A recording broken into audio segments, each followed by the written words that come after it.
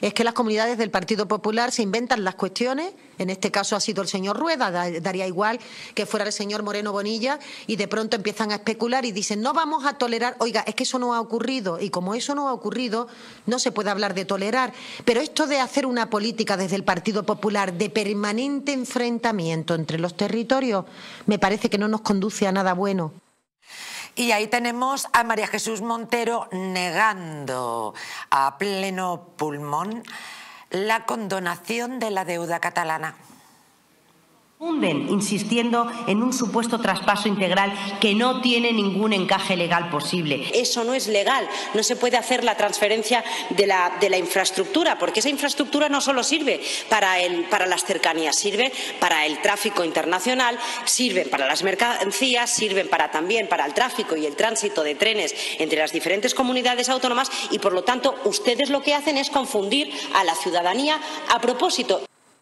Y ahí tenemos a Raquel Sánchez, ministra de Industria, negando la cesión de rodalías, de cercanías en Cataluña. Es decir, lo mismito, lo mismito que han pactado con Esquerra Republicana. Y venga, yo ya sé que se lo saben, pero vamos a... No hay dos sin tres.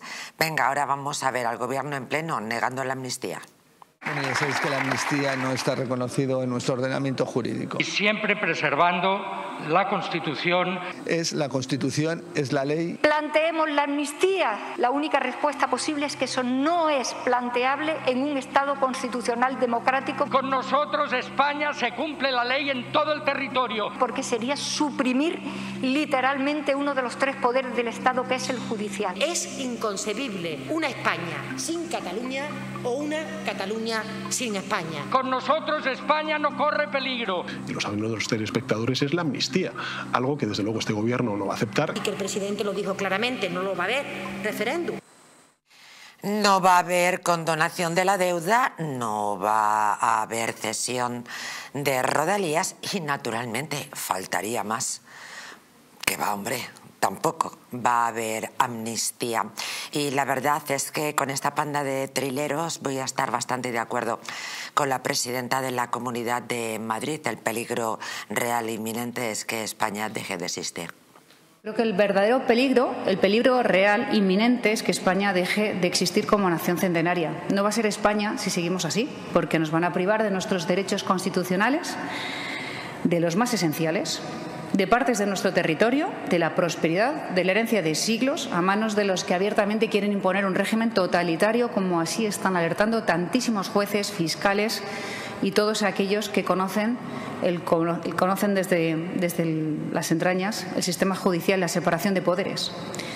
Tampoco es cierto que estos acuerdos vayan a resolver ningún tipo de convivencia.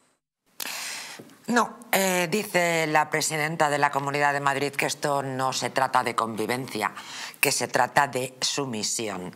Así que mm, tenemos a un presidente en funciones eh, sumiso ante golpistas y terroristas. Tenemos a un presidente de gobierno en posición oferente y a cuatro patas frente a un delincuente que les recuerdo que se fugó de España metido en un maletero y a otro delincuente, vamos, condenado a 13 años, si no estoy equivocada, por malversación de fondos y por sedición. Cierto es que el trilero de Sánchez pues ya le ha indultado pero llama poderosamente la atención que de esta guisa, mm, precisamente, el mismo que se espatarra al son del himno nacional, el mismo que promete lealtad a la corona, mientras que de manera simultánea está negociando con los que van a romper España,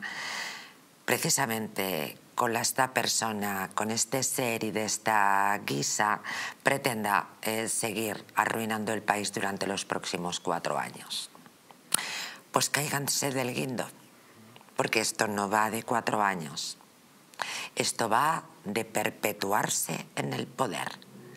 Esto va de una dictadura cuyos efectos podríamos decir que ya los estamos notando, pero que agárrense los machos porque lo que está por venir es trágico, aunque muchos puedan considerarlo cómico. Les recuerdo que muchos se rieron antes en circunstancias y en países que jamás pensaron que podían tomar esa deriva.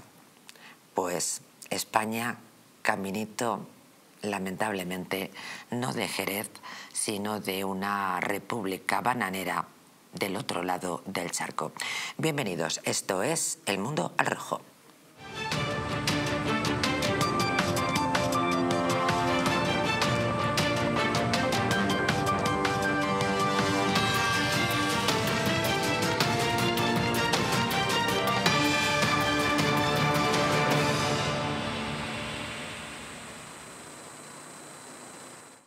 Y es que la cosita está para poca broma. En cualquier caso, vamos a aprovechar, antes de que un comentario más o menos afortunado como el anterior no le digan a una que se lo calle por censura. Así que, de momento, vamos a tirar hacia adelante.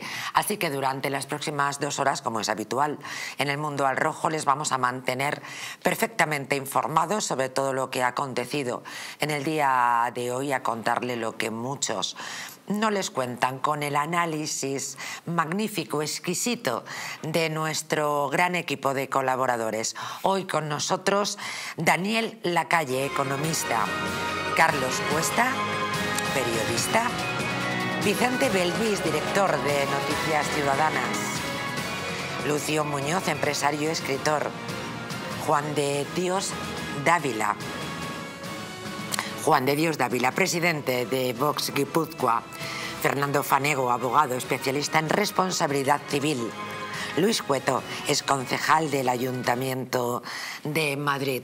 Bueno, pues con todos ellos hoy vamos a arrancar este viernes después de una semana un poco de, infarto, ¿no, señores? ¿Cómo están? Primero, Luis, un placer, como siempre. Igualmente, muchas gracias. Juan de Dios, bienvenido. Muchas gracias, buenas noches. Fernando, un gusto, como siempre. Un placer, María José.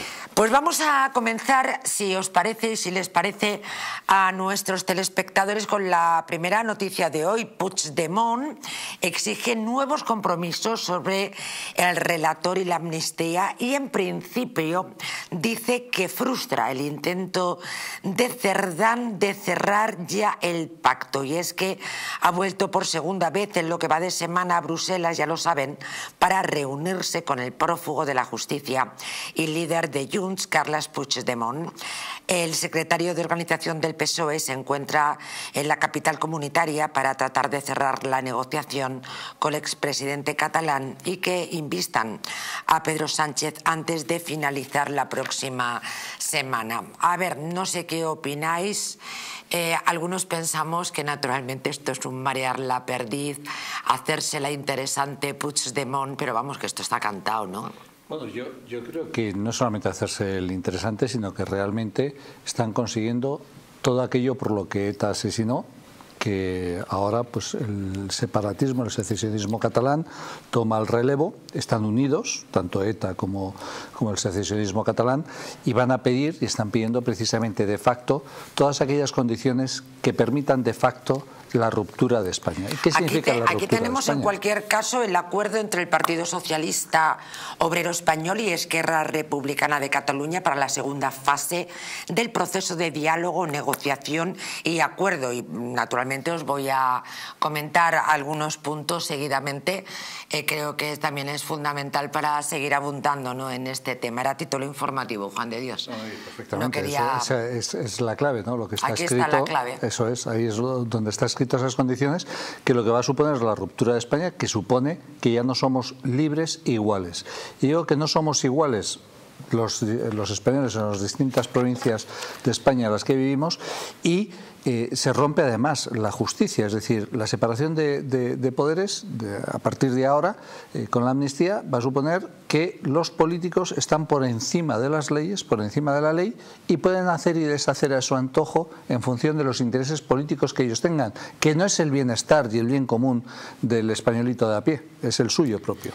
Veo a Luis Cueto reflexivo, como es habitual en un hombre ponderado como él. Bueno, yo eh, Creo que lo, grave aquí de esta escenificación es que se están peleando las futuras elecciones en Cataluña. Lo, han dicho muchos comentaristas. Aquí se están peleando entre Junts y Esquerra Republicana a ver quién exige más. Porque donde se la juegan ellos, más allá de sacar del Estado todo lo que puedan, como es propio de todo independentista, es, digamos, su poder en Cataluña. Y donde están haciendo un pulso ante la opinión pública catalana es quién es más duro con el gobierno. ¿no? A mí me parece, no estoy tan de acuerdo con, eh, digamos, el nivel de riesgo al que lo lleva Juan de Dios. Yo creo que no, no existe el riesgo de la ruptura de España. Otra cosa es que estés más de acuerdo qué modelo de España se está... Lo dice Juan de Dios, lo dice la presidenta de la comunidad también, pues ¿eh? y lo dicen muchos. Tampoco estoy de acuerdo con ella. Eh, me parece que es una exageración decir que se está rompiendo España. Otra cosa, y muy respetable, es el modelo de España al que nos lleva esto no me gusta, yo preferiría otro perfectamente legítimo. En todo caso, yo creo que eh, más que estar por encima de la ley es un uso de la ley, porque tendrá que haber una ley y esa es la ley que votará el Parlamento. Yo creo que eh, cruzan una línea roja eh, con esto de la amnistía, sobre todo gratis, porque no, es, no se ve nada a cambio. Fuera de su investidura, no, nadie estamos viendo qué dan ellos para la convivencia futura a cambio de mucho que se les está dando. Y eso es para aquí tenemos algunos puntos que los vamos a ver. Eh, Fernando. Yo creo que hay una cosa que es clara, es decir, que lo primero que se ha mancillado es el Poder Judicial.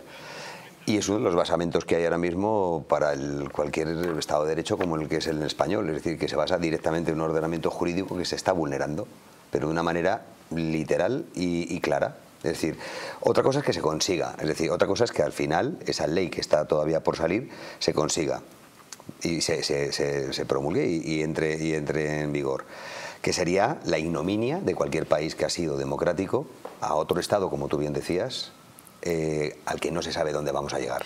Vamos, a, vamos si me permites, Fernando, a, a contactar con Daniel Lacalle, él es economista, y con él quiero compartir y también con los telespectadores lo que nos va a costar el trato de favor del Gobierno a Cataluña, a cada contribuyente, a usted y a cada uno de nosotros. ¿eh? Mm, casi 900 euros. Daniel Lacalle, muy buenas noches. Muy buenas noches, ¿qué tal? ¿Cómo estáis? Pues la verdad es que estamos un poco horrorizados, un poco enfadados y un poco decepcionados. Hmm.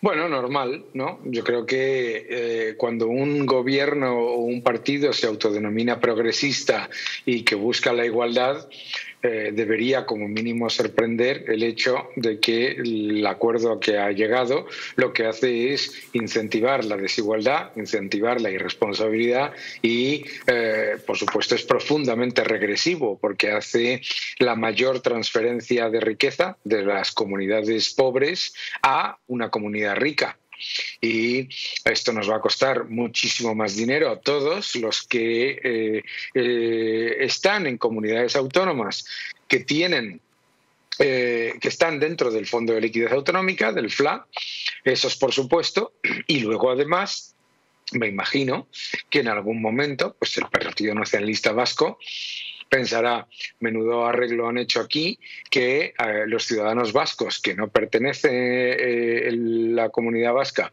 a, al Fondo de Liquidez Autonómica, jamás se apuntó, luego la Comunidad de Madrid, van a pagar muchísimo más porque, claro, esa deuda que, entre comillas, se le condona al, a la Generalitat de Cataluña, no desaparece. Eh, la pagamos todos los demás, ¿no? Y la pagamos entre todos y la pagamos con más impuestos, la pagamos con más deuda y, por supuesto, vuelvo a repetir, es una transferencia masiva de riqueza de las comunidades pobres a una de las comunidades más ricas. 833 euros por cabeza, esto para empezar, porque naturalmente esa primera parte es una primera parte de la condonación de la deuda, porque naturalmente después hay más quitas y hay más plazos, pero para que nos hagamos una idea, esto es a título eh, individual, a título colectivo, Daniel Lacalle, más o menos eh, podría representar todo el gasto en la sanidad pública de todo un año de la comunidad andaluza. Bueno, probablemente sí. Eh, se pueden hacer todo tipo de cálculos. En realidad no, no, es, no es eso. No es eso. ¿Por qué? Porque la deuda de las comunidades autónomas eh, está dentro de, la, de, todos las, eh, digamos, los pasivos en curso de las administraciones públicas y por lo tanto, pues eh, no va a haber o sea, no es que aumente la deuda de, en general, lo que pasa es que pagamos más por la deuda los que no estamos en Cataluña. Le estamos literalmente subvencionando a los catalanes. Y efectivamente, pues todos esos cálculos que estáis haciendo, pues probablemente sean, sean correctos. Eh, para mí lo más importante no es ni siquiera eso, sino la evidencia de que por mantener al Partido Socialista en el gobierno eh, está dispuesto a firmar un acuerdo en el que se adopta completamente toda la narrativa del separatismo, creo haber escuchado a una de las personas del debate decir sin nada a cambio, efectivamente, sin absolutamente ninguna concesión por parte del separatismo en cuanto a sus exigencias. De hecho, en el momento de que, en que se ha publicado el acuerdo, lo primero que ha hecho es que Republicana de Cataluña, es decir, y ahora el referéndum. Eh, por lo tanto, no ha habido, ninguna, negociación. Y suma y sigue, eh, Daniel Lacalle, y suma y sigue, por supuesto, la parte económica es pecado minuta para verdaderamente el agravio a España y la situación en la que nos sitúa. Daniel Lacalle, muchísimas gracias. Muchas gracias a vosotros. Muy buenas noches. Eh, ahora vamos a darle un repaso a, esta, a este acuerdo que tengo entre el Partido Socialista Obrero Español y Esquerra Republicana, esa foto absolutamente miserable ¿no? en la que veíamos ayer al señor Junqueras y, y a Bolaños, que manda un narices de verdad que el señor Junqueras tenga la cara extraordinaria de decir que comparte más genes con los franceses que con los españoles y portugueses.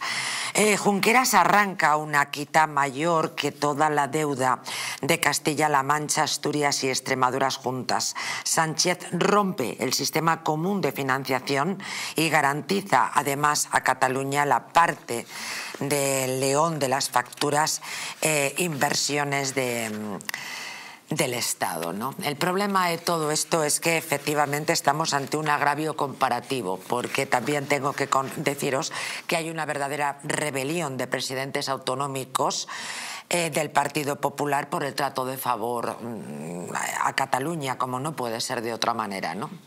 Aquí se va a montar la gorda. el trato de favor no es a Cataluña.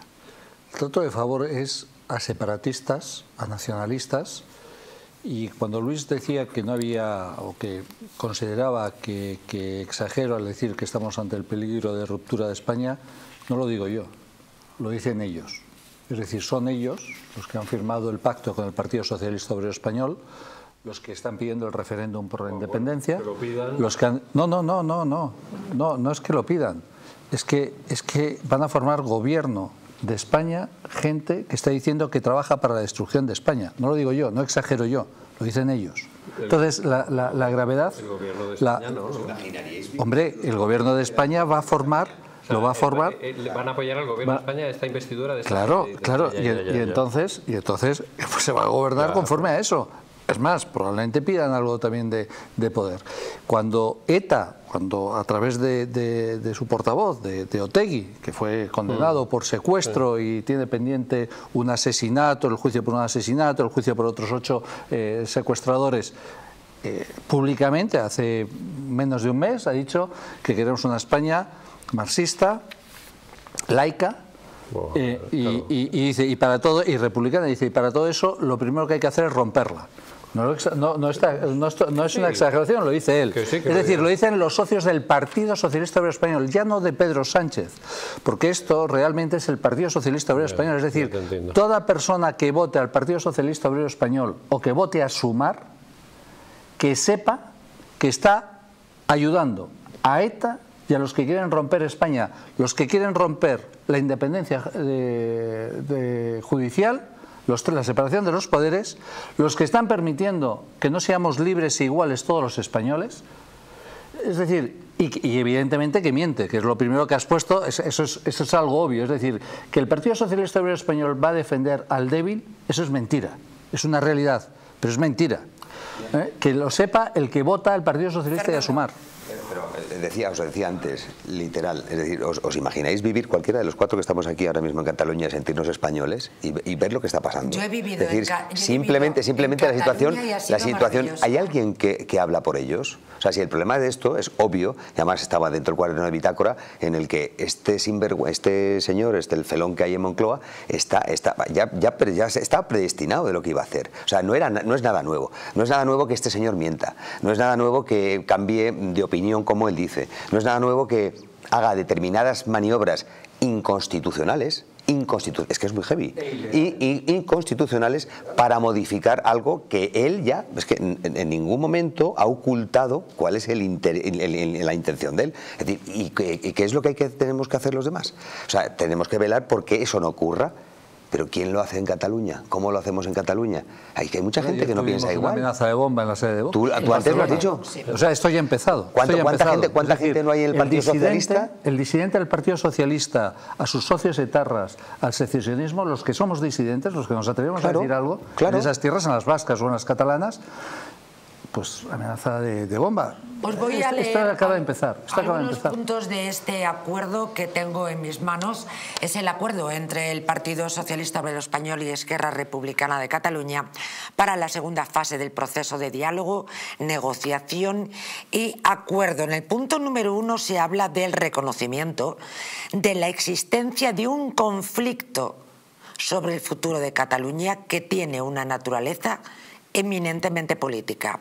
Dos, la necesidad de desjudicializar dicho conflicto y de dialogar sobre posibles soluciones en un marco de negociación equilibrado por todas las partes, encontrando las vías políticas y democráticas para su resolución. Que las soluciones de fondo a las que se lleguen deben ser soluciones con un amplio consenso social y parlamentario, ojo, en el, ojo lo pongo yo, ¿eh?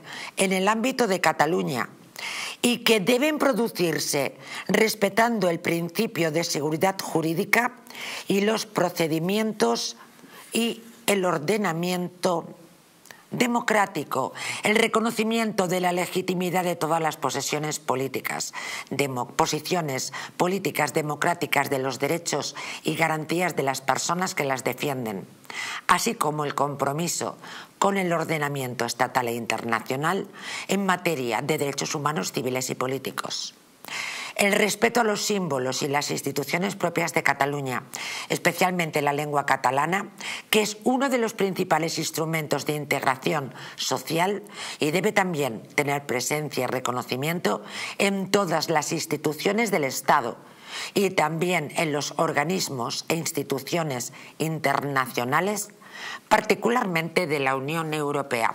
Por cierto, que la Unión Europea ya le han tumbado alguna de estos, ¿no? de estos deseos como que no se va a autorizar. A mí eso que has leído, fíjate que tampoco que todo debe ser democrático, ten en cuenta que nuestra Constitución, a diferencia de la alemana, que se le llama en la jerga eh, constitucional eh, Constitución militante, prohíbe los partidos que quieren pacíficamente eh, tumbar esa Constitución.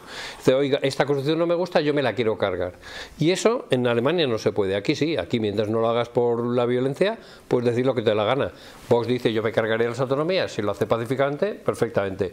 Yo me quiero cargar la corona, soy republicano, si lo haces pacíficamente, no hay ningún problema. La Constitución no está sagrada. Aquí se puede decir. Ahora, lo que varias de las cosas que hay ahí, lo que pasa es que la gente está muy escamada porque lee entre líneas. Dices, aquí lo que has leído no parece tan horrible, pero ¿qué pasa?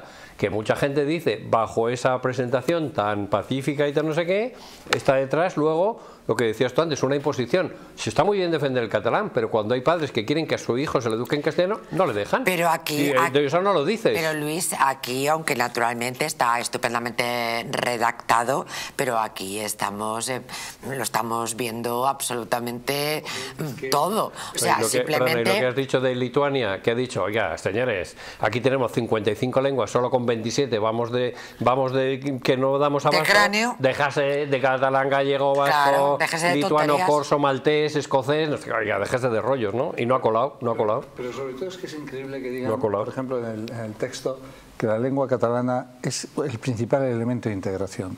Hoy en día, alguien que vive en Cataluña o que viva en las provincias vascongadas, sabe que el euskera o el catalán es un elemento precisamente de desintegración. Es un elemento empleado por el secesionismo para que solamente tengan cargos públicos. El Tribunal Superior de Justicia del País Vasco ha tumbado de hecho, la obligación que ponía el Partido Nacionalista Vasco para el nivel de euskera en, la, para la, administración pública, precisamente porque no es un elemento de integración. Es, o sea, el idioma que está hecho para entenderse, el secesionismo y, y, la banda terrorista ETA lo utilizan, PNV, ETA, Bildu, Esquerra Republicana Junts, utilizan el idioma como un elemento para no poder comunicarte Pero como no barrera. Eh, es que es increíble. Idioma, y además como estamos con este acuerdo, decía Luis Cueto, bueno, pues tampoco eh, pues eh, tampoco hay tanto ahí, hombre. Vamos a recordar naturalmente que también están incluido el acuerdo eh, sobre el traspaso integral del servicio de rodalías, de cercanías en, en español, ¿no? que pertenece a Renfe, que naturalmente en su momento se dijo que no, que es absolutamente inviable, entre otras cosas porque además esas, esas vías de rodalías, de, cercanías de Cataluña, naturalmente también tiene que ver con recorridos nacionales, o sea que también está incluido, está incluido la condonación de la deuda. Y hay una parte importantísima, si me permitís, en, los que mm, se dice em, en los acuerdos que, que, pues que, van a dar ellos, ¿no? El voto a favor de, de, este sentido adquiere los siguientes compromisos para la siguiente legislatura que se desarrollarán a partir de los ámbitos parlamentarios e instituciones en los que participan ambas fuerzas, PSOE y Esquerra. Uno, voto a favor de la investidura. Bueno, pues lo damos por hecho, ¿no? Pues que todos los diputados, las diputadas y los diputados de Esquerra Republicana en el Congreso van a votar favorablemente a que Sánchez eh, arruine cuatro años más el país. Culminar la eh, desjudicialización a través de la aprobación de una ley de amnistía es decir, que mm, solucionamos el problema aprobando la amnistía. Ratificar e impulsar el diálogo institucional entre gobiernos sobre el futuro político de Cataluña mediante el diálogo político institucional a través de la mesa de diálogo, negociación y acuerdo con todo esto que naturalmente podéis imaginar. Y permitidme que en este punto número tres, al final de todo, porque naturalmente se hace tedioso eh, leer literalmente un un documento de, esta, de esta envergadura, fijaros, dice, también debe abordar el debate sobre el modo en que los acuerdos a los que se pueda llegar sobre el marco político de Cataluña puedan ser refrendados por el pueblo catalán. Es decir, la soberanía, la soberanía está en, Cataluña. y se aprobará dependiendo de lo que digan los catalanes, no así el resto de España. Pero es uno de los pasos que seguramente, seguidamente a la aprobación de esa ley ignominiosa, se vaya a dar y que nosotros que el reconocer a Cataluña como un Estado soberano. Es decir, que lo van a, que lo van a solicitar, pero en nombre de quién? ¿Del pueblo catalán realmente? ¿De Cataluña? No puedes, es, que es, que es inviable. Hay una cosa que, es, que son cosas que son de perogrullo, pero lo saben ellos. O sea, el, problema está en de qué forma. Antes creo que decía Luis sobre la forma de dar un golpe de Estado. El golpe de Estado son cuatro, no hay más. Es decir, el, bueno, cuatro, no, hay dos. Una que es por la fuerza y otra de una forma civilina, de una forma aviesa, de tal forma y malintencionada como decía Cela en su, en su obra. Es decir, aviesa y malintencionada. El tema está muy fácil, es decir, ¿de qué forma puedo hacer? Tenemos el ejemplo de Venezuela. En Caracas se hizo lo mismo, es decir, la ley venezolana, la ley, digo, la constitución venezolana fue reformada de una forma unilateral por el, por el gallardo que en ese momento dijo se erigió democráticamente, democráticamente en unas elecciones. Es el mismo paso. Es decir, lo que, el que no quiera ver que se ponga gafas y que vaya a óptica San Gavino. Y, perdona, Luis, escucha, no, pero perdona, escucha, lo que, lo que a mí me indigna es que haya tanta gente ciega en España. Y sobre todo a los que hemos elegido para representar a ese pueblo soberano, ¿sabes? No sean capaces de poder discernir o ver lo que está pasando. Y ellos lo saben. Hay gente que tiene más de una neurona. Es decir, entiendo. Es decir, sobre todo hay una cosa, y perdona, ya termino el speech. Hay una cosa que es fundamental. Yo me dedico a la. Yo, soy una, mínima parte del organigrama del Ministerio de Justicia, porque pertenezco a él, estoy, soy abogado ejerciente y demás. Simplemente el mero hecho de que yo tenga que ver que se están vulnerando lo que determinados magistrados que a mí me han dictado sentencias no valga para nada, me deja en, claro Franco Bordo para seguir trabajando y ejerciendo mi labor. Y terminando con este acuerdo entre Esquerra Republicana y el Partido Socialista, en el cuarto punto, hablan de implementar una agenda de reformas y transferencias con una incidencia positiva sobre el bienestar y el progreso económico de Cataluña. A tal efecto, el presente acuerdo incluirá como anexos dos acuerdos sobre la financiación para Cataluña, ergo la condonación de la deuda, y sobre rodalías, es decir, esos dos puntos sobre los que el Gobierno ha mentido de manera continuada. Hemos visto a sus ministras y, naturalmente, la hemeroteca quema los dedos. Podríamos ver también al presidente del Gobierno, Armengol.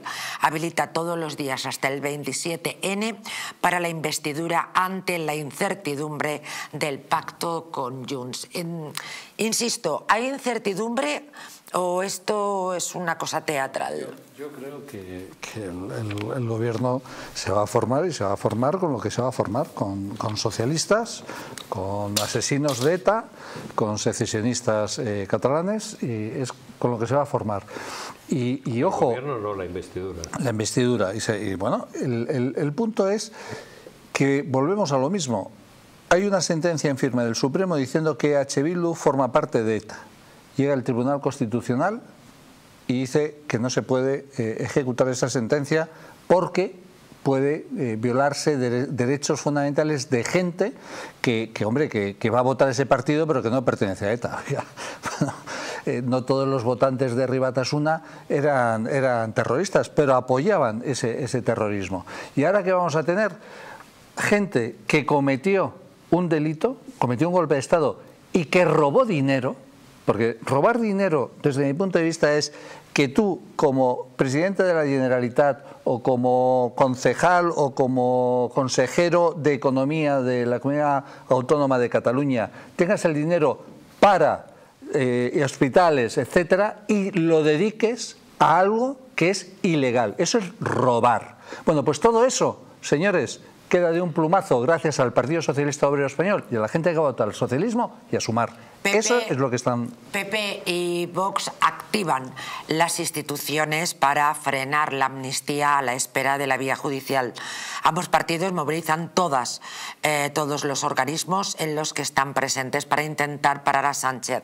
Han puesto en marcha estos mecanismos el partido de Alberto Núñez Fijó, ha activado su mayoría absoluta en el Senado, su poder territorial y su influencia en Europa para obstaculizar esta norma. Los de Santiago Abascal promueven también medidas en todas estas instituciones, además de ampliar la querella contra Pedro Sánchez en el Tribunal Superior por los delitos de prevaricación, malversación y cohecho. Ahora luego vamos a ver también que el juzgado de Madrid admite la demanda de una ciudadana en la que pide medidas cautelares contra la mesa del Congreso y grupos parlamentarios que apoyan la ley de amnistía para intentar paralizar su tramitación por posible vulneración. ¿no? Bueno, varias cosas. Eh, y tenemos más protestas. ¿eh? vosotros sabéis que, se montó la de Dios en el PP cuando Feijó dijo que eh, tenía que hablar con Junts, que era un partido muy legítimo, cuando estaba tonteando si a ver si le apoyaban o no, y no sé qué, y habló del conflicto político catalán. Luego, a los 10 minutos, dijo, ah, me he equivocado, no me han interpretado bien. Pero aquí la gente, cuando quiere el poder, hace lo que hace falta, y, Puyol y Aznar hablaba catalán en la intimidad. Quiere decir que aquí ha habido de todo. Juan de Dios y yo lo hemos dicho en varios programas aquí. Aquí el problema es la ley electoral que pone en manos de grupos minoritarios la capacidad de chantaje al Estado. Y eso hasta que no se cambie, estaremos aquí toda la vida con eso. Pero bueno, entrando en materia concreta. Eso se pudo cambiar antes, ¿eh? Ya, ya lo sé. El PP y el PSOE lo han podido cambiar 20 veces en 40 años con mayorías absolutas o de un acuerdo. Lo han podido hacer. Y eso es lo que hubiera salvado esa capacidad de chantaje. Yo siempre lo he dicho, máximo poder en tu territorio. Si ganas las tienes, mínimo chantaje nacional, sobre todo un partido que, que es independentista, que quiere romper ese país. Con lo cual, es que se suicida Eso está- ese, ese- ese tipo de ley está muy bien en cualquier país que no tenga un problema como hemos, como tenemos tenido la, la, la- la- el- el- la po- la- la po- la- la- la- la pobredumbre es de, de- de tener etarras en España, tener un, un partido de terrorismo. Pero, Si en- no- si no pero sido señores, representación. eh, señores, pero en lo que estamos y en lo que están esperando los telespectadores, estas medidas de presión, estas manifestaciones, estos colectivos de los que vamos a hablar seguidamente, verdaderamente pueden hacer algo. El Partido Popular y Vox de manera em, juntos, unidos, como quizá deberían haber estado siempre, ¿creéis que pueden hacer algo ante esta situación más allá de lo que viene siendo culturalmente las Yo- cosas? Yo, creo que esto solamente se va a poder parar en las calles y en las comunidades autónomas, y me explico. En las calles, porque desgraciadamente las instituciones que son las que tendrían que parar esto, y me refiero al Poder Judicial, me refiero al resto de instituciones que están para eso, para defender la libertad e igualdad de todos los españoles, que es lo que ahora mismo se está rompiendo, no lo van a hacer. Entonces, hay que estar en la calle.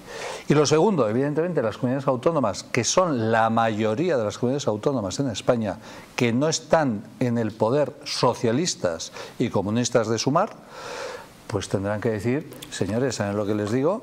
Que yo por aquí no voy a pasar.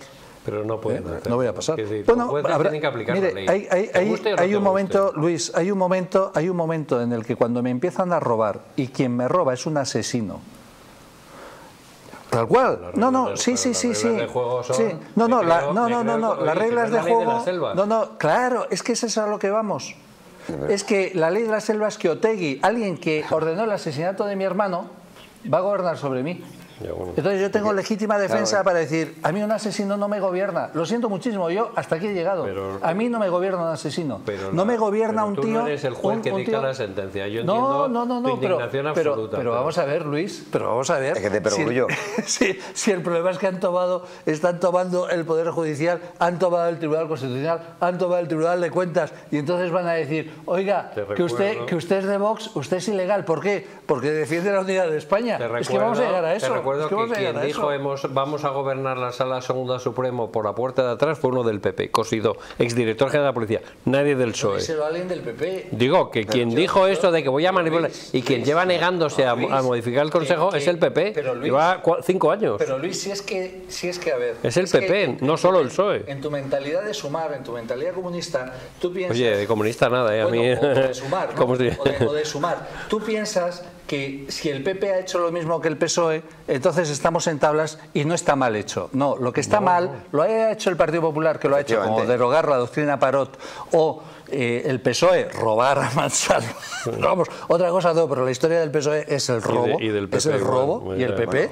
Pues eso Pero más no, PSOE, eso no hace que el robo, eso no hace que el robo sea Tiene bueno. razón, tiene razón. Pues ahí está. Entonces, el problema es que tenemos a ladrones, a ladrones, gente que ha robado, que se le ha dado un dinero público para hospitales, para cercanías, para, para educación, que se gastado en un golpe de Estado. Eso es robar. Y ahora, Eso es robar. y ahora la, eh, la ciudadanía, los partidos políticos, los colectivos se están uniendo eh, para manifestarse, eh, se están uniendo los partidos y también de pronto pues aparece eh, esta noticia que les daba en un juzgado de Madrid, cómo admite, y quisiera, tenemos un abogado, preguntarle, admite la demanda de una ciudadana en la que pide medidas cautelares contra la mesa del Congreso y grupos parlamentarios que apoyan la ley de la amnistía para intentar paralizar su tramitación por posibles eh, vulneraciones de los principios eh, de los derechos fundamentales. ¿Qué importancia tiene, tiene esto? Tú eres abogado en ejercicio, yo creo que no va a ninguna parte, pero, pero opina tú. Tiene, tiene escasa repercusión, pero sí que es verdad que es, es paradójico que estemos hablando de esto. Sí, sí. O sea, es decir, que en el siglo, o sea, en el, año en el que estamos viviendo. Pero vía, vía es- judicial, cero.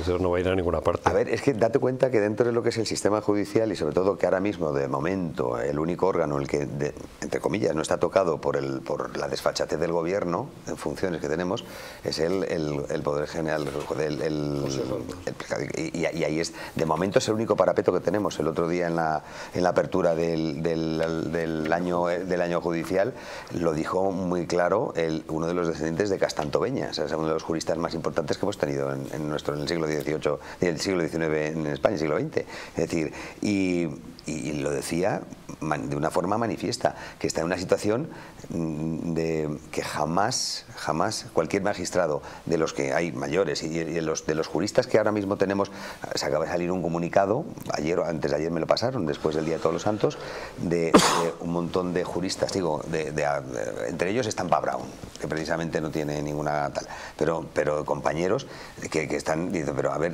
nos estamos yendo al garete por una sencilla razón. Es decir, que en el momento que tú apruebes una ley que está basada en algo que es ilegal o inconstitucional, y sobre todo que mm, eh, reprueba lo que otro magistrado o, un, tribunal, que ya es mm, todavía peor, es decir, ha, fallado en su momento, es dejar sin sentido absolutamente el ejercicio de nuestra profesión y el ejercicio de, la judicatura. El Poder Judicial se, se, revela, de hecho, ¿no? en un demoledor comunicado, la Asociación Profesional de la Magistratura avisa de las irremediables consecuencias para España de la amnistía. La amnistía será el principio del fin de la democracia, al hilo de lo que decía Fernando, Fernando Fanego. La PM no es el Poder Judicial, ¿eh? es una asociación de unos cuantos jueces. Sobre 4.000 jueces están afiliados 2.000. 2.000 pasan de estar afiliados. De los 2.000, 1.000 algo son de los jueces de derechas, la APM. Hay unos cuantos que son los jueces de izquierda, que son jueces para democracia, y hay unos cuantos que son de la Victoria, Francisco Victoria. No es Poder Judicial, es una asociación de unos cuantos jueces que tienen su ideología Don Luis, mira, sea la ideología que sea, es decir, cualquier individuo tiene su ideología y es legítimo que una persona, aunque sea, aunque sea magistrado, tener, no escúchame, no, tener, tener su propia ideología. Lo, que sí que está claro que el que señor que fundamenta una, una, una sentencia tiene que aplicar e interpretar los preceptos. Y esos son listos todos. Pero tengan, la ideología progresista o, conservadora. Pero saben perfectamente que tienen que interpretar la norma. Y si esa norma ha sido vulnerada, ¿Qué piensa una, persona que tenga que pues dictar, la sentencia? ¿Dictar la sentencia? ¿En contra de su voluntad? No, no. En, contra de lo que le están diciendo. No, es que no la ha impuesto, no la ha impuesto la ley ¿La impone el Parlamento sí o sí? Don Luis, don Luis, que, te digo, te vuelvo a repetir. Solo lo, normal, jueces no, no, no, normal, no, escucha, estamos viendo que quien impone ahora mismo la ley es el partido, el, Ejecutivo, es el Poder Ejecutivo, el, que prepondera sobre los... La sentencia firme que se condena pues, Hombre, por, qué se va a aprobar la ley de amnistía? ¿Usted cree, don Luis, usted cree...? A Puigdemont no le han podido condenar porque estaba en rebeldía. Han condenado a Junqueras y a Junqueras le han indultado. ¿El indulto es una vergüenza? Pues puede que sí, puede que no, pero es legal. Tanta vergüenza como que el Ejecutivo se haya reunido con una persona que está prófuga a la justicia que a usted no le iban a dar el mismo, que a usted no le iban a dar la misma cobertura. Que sí, que sí. No, no, usted se iba a podrido. Es una vergüenza. Bueno, pues entonces lo, que, lo que no es normal es que el Poder Ejecutivo se prepondere sobre el Poder judicial y legislativo, que es el que tiene, legislativo, es el que tiene que dictar la norma. Sí, sí, en el Parlamento, lo que usted me diga. Pero no, pero escucha, ahí hay una serie de juristas, sobre todo los que aplican e interpretan la ley, que son los magistrados. Pues seguimos en la línea de los magistrados, aunque alguna bola se le escapa al trilero. La Audiencia Nacional envía a juicio por terrorismo a los CDR justamente a los mismos que quiere amnistiar eh, Sánchez. Carlos Cuesta, periodista, muy buenas noches. Muy buenas, ¿qué tal? Algo tenía que salirle medio mal al trilero, ¿no? Bueno, algo, y cuidado porque puede ser el anticipo de que le vaya a salir algo más importante mal, que yo creo que es la parte más, más importante de la noticia. Eh, aquí iba a haber una pelea, o sea, todos sabemos que evidentemente los jueces que están llevando cada una de las causas en las cuales están inmersos, los 4.000, esta cifra no la doy yo, es que la ha dado un señor llamado, un prófugo y delincuente llamado Carles Puigdemont, que ha asegurado que los amnistiados serían 4.000. Cada uno de esos jueces tiene una serie de herramientas para exigir algo de cordura en lo que evidentemente es una voladura constitucional, que es la ley de amnistía. Una, damos todos por hecho que no va a servir para nada, que es evidentemente el recurso previo trasladado al Tribunal Constitucional. Está Cándido Conde Pumpido, ya lo denominan incluso internamente, lo denominan al Tribunal Constitucional como la sala 7-4. Siete de izquierdas, cuatro de todo el resto, porque esto ya no es ni izquierda ni nada. Y todo el mundo da por hecho que ese recurso no va a servir, pero cuidado porque hay una segunda herramienta que es elevar el tema como cuestión prejudicial al Tribunal de Justicia de la Unión Europea. Lo que acaba de hacer la audiencia, que es confirmar el procesamiento por causa de terrorismo, hace que evidentemente el terrorismo, como tiene derecho europeo, pueda ser considerado por el Tribunal de Justicia de la Unión Europea como causa europea. Entonces la amnistía no estaría exclusivamente borrando y legitimando delitos sobre el derecho nacional, lo estaría haciendo sobre el derecho europeo. Y a partir de ese momento los jueces, claro que pueden invocar el tema de terrorismo para llevarse estos casos como recurso previo al Tribunal de Justicia de la Unión Europea. En la misma línea, eh, no está de acuerdo nuestro Luis Cueto. No hay derecho penal europeo, hay derecho mercantil, hay derecho no. Vamos a ver.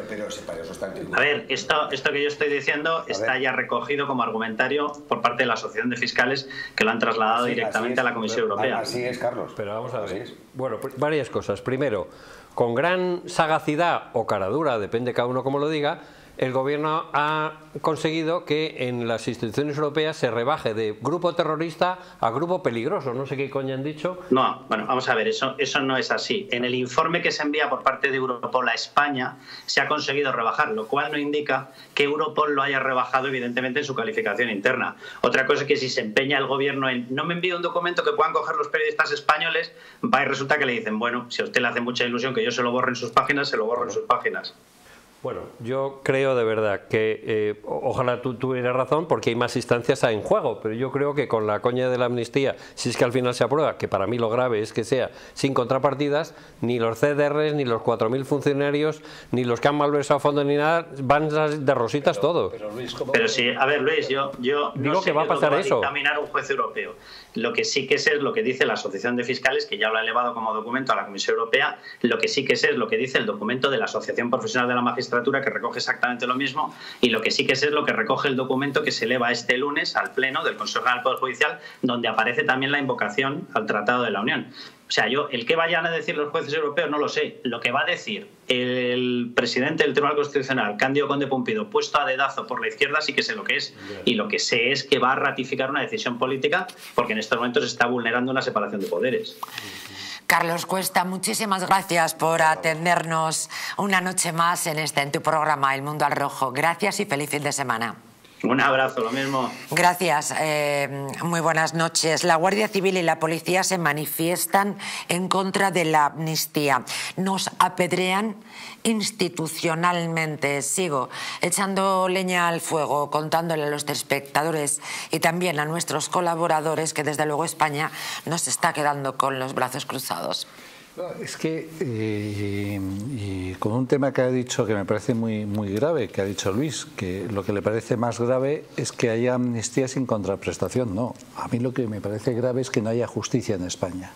Es decir, la amnistía significa, la amnistía significa que los delitos que han cometido estos señores, cuando los jueces han dicho que ha sido un delito, cuando la policía ha sido apedreada pero, y les han tirado cócteles Molotov, y recuerdo que el cóctel Molotov se inventó en Finlandia para parar, para parar carros de combate soviéticos, ¿eh? no es cualquier cosa un cóctel Molotov, cuando recibieron esos cócteles Molotov y los jueces eh, se- sentenciaron, estas personas son culpables, y algunas de ellas han ido a la cárcel, lo que está diciendo la amnistía es que eso no era cierto, no era un delito. Eso es lo que está diciendo la amnistía. ¿Qué significa eso? Que no deja de haber justicia. No es un tema de contraprestación. Es que Luis, Vox, eh, yo, Juan de Dios Dávila, luchamos porque haya justicia. No porque es que el Partido Popular ha hecho eso también y el PSOE también, entonces lo dejamos en tabla. No, no, no. Nosotros luchamos por lo que es justo, por lo que es la libertad, por lo que es la igualdad de los españoles. Y cuando empezamos como sumar, ¿no? allí donde estás, o, o los socialistas, y decir, no, es contraprestación, prefiero ser injusto si, si tengo una buena... con-". No, no, no, no, no, no, es que eso Fernando, que es está- está- inapelable. Fernando No quiere meter consentir. cuchara. No se puede Sí, consentir. no, simplemente deciros una cosa, desde el punto de vista jurídico, desde el punto más, digamos, eh, más estricto. Es decir, se revoca una sentencia que deviene firme por una ley que está hecha por, un, por, por, un, por el Poder Ejecutivo. Es decir, escucha, deja Rompes absolutamente... la- la- Escucha, no es decir, porque date cuenta que hay gente que está, que, que está sentenciada, ¿no? que, que ha cumplido la condena o está cumpliendo la condena. ¿Y qué me dices de los policías que alguno ha sido procesado por este mismo? Es decir, que se encuentra en una situación de decir, pero bueno, o sea, es que absolutamente hay un... Hay, hay un, hay un, un- Pero yo entiendo lo que quieres decir de ley hecha por el Ejecutivo, porque es verdad que los gobiernos mandan y los parlamentos hacen así, lo que le dice el jefe del partido lo hacen y el parlamento no existe. Y entiendo claro. lo que quieres decir. Pero, Pero, pero ellos no formalmente. aplican- ellos no aplican, no interpretan la norma. Luis, nuestra- Es que no interpretan la norma. Es que tú imagínate que tú has sido uno de los de, de los que de lo que has depuesto en la sentencia, digo, de, de- la gente que ha sido condenada. Pero el decir, derecho penal escucha, favorable al reo, igual que con la pero coña ¿qué del me estás sí es sí. contando? Que la ley de amnistía está para cuando en su momento se hizo evitar males mayores o de entrar en una- un periodo que nos ha servido durante casi 30, no más de Sí, 30 sí, sí. años, sí, de una estabilidad, pseudoestabilidad Es democrática. súper discutible, tienes toda la razón. Lo que yo digo- Fijaros en lo que O sea- dice un policía del 1 de octubre, dice, no podemos entrar en la ley de amnistía, dice, no podemos estar en el mismo saco que los terroristas. Y es que hay que recordar que con esta ley se está equiparando a los agentes que actuaron con un mandato judicial, Claro. es decir, que los mandaron a Cataluña y además en el piolín, En el esta Piolín, idea estupenda de, de la vicepresidenta en lugar de mandarlos en un buque de la Armada como Dios manda, pero aquí la Soraya de Santa María, que Agustito tiene que estar, pues recordamos que se fueron allí por mandato judicial y cumplieron órdenes. Bueno, pues de alguna manera se les están equiparando con otros encausados por terrorismo.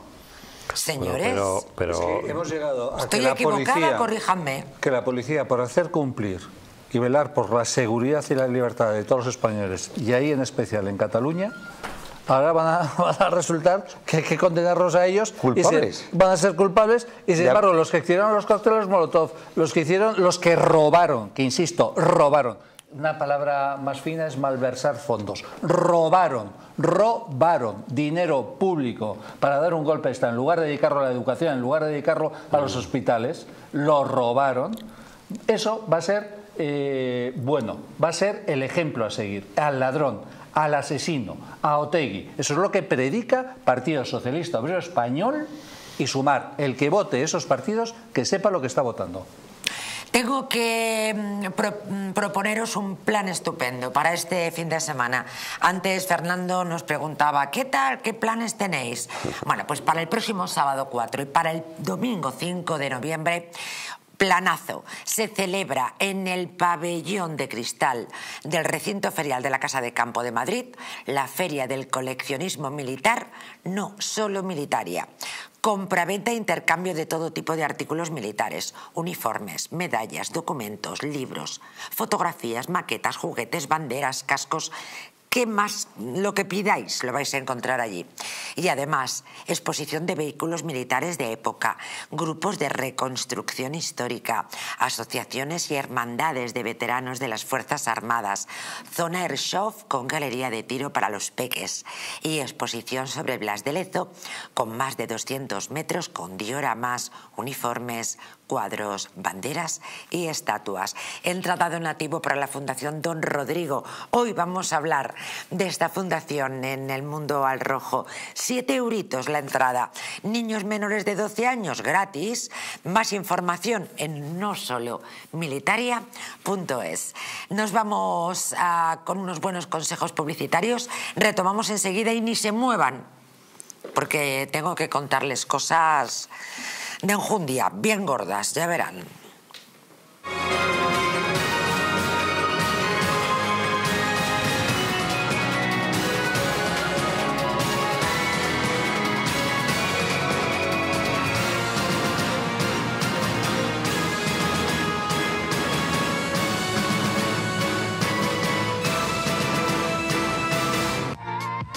Noche larga de fiesta con los amigos?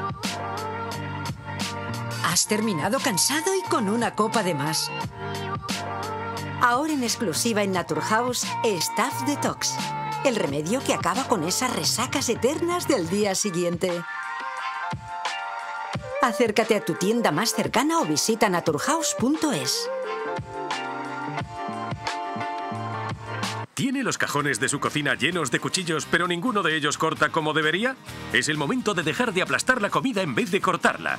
Y esto se debe a que muchos afiladores no afilan realmente, sino que destruyen la hoja. Le presentamos Bavarian Edge, el revolucionario afilador que cuenta con dos brazos elásticos independientes para afilar cualquier cuchillo en tan solo unos segundos. Si le gusta cocinar con cuchillos afilados, entonces necesita el Bavarian Edge. La diferencia con otros afiladores está en sus dos brazos elásticos independientes, fabricados con una aleación de tungsteno y carbono que se adaptan a cualquier tipo de cuchilla para conseguir siempre un afilado perfecto, siendo el único afilador capaz de afilar cuchillos de sierra.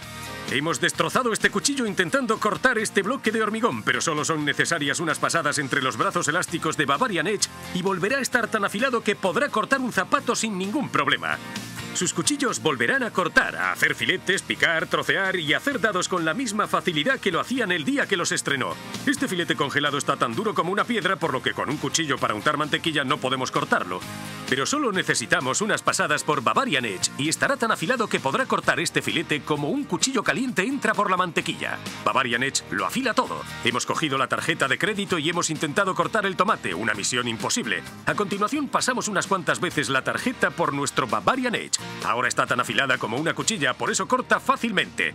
La diferencia con otros afiladores está en sus dos brazos elásticos independientes, fabricados con una aleación de tungsteno y carbono que se adaptan a cualquier tipo de cuchilla para conseguir siempre un afilado perfecto, siendo el único afilador capaz de afilar cuchillos de sierra. Otros afiladores de cuchillos podrán costarle más de 100 euros, pero si llaman ahora, Bavarian Edge puede ser suyo por el magnífico precio que aparece en pantalla. Además, si llama en los próximos 5 minutos, podrá conseguir su segundo Bavarian Edge a mitad de precio. Pero dense prisa porque esto no es todo. Las primeras 300 personas en hacer su pedido no tendrán que pagar los gastos de envío. No pierda más tiempo y llame ya. ¿Quieres proteger tu sistema inmunitario de la gripe, COVID y otras enfermedades? Inmunad Z es un complemento elaborado con zinc y base de vitaminas C1, B6 y D3 que permiten aumentar las defensas y mejorar las respuestas del sistema inmunitario. Además, posee antioxidantes que reducen el envejecimiento y mejoran el estado de ánimo. Con Inmunad Z, las defensas al poder. Acércate a tu tienda más cercana o visita la web naturhaus.es. Hotel Las Dunas, un lugar mágico en el corazón de la Costa del Sol. En primera línea de mar, situado en un oasis de armonía, tranquilidad, enfocado en la salud y bienestar de nuestros huéspedes. Desconecta del estrés y la monotonía del día a día. Estancias con programas exclusivos y personalizados de salud, rejuvenecimiento y control del peso. Elegancia y bienestar junto al mar sin renunciar a la actividad y la vida saludable. Descubre las Dunas Hotel Health and Spa, el más exclusivo de toda la Costa del Sol.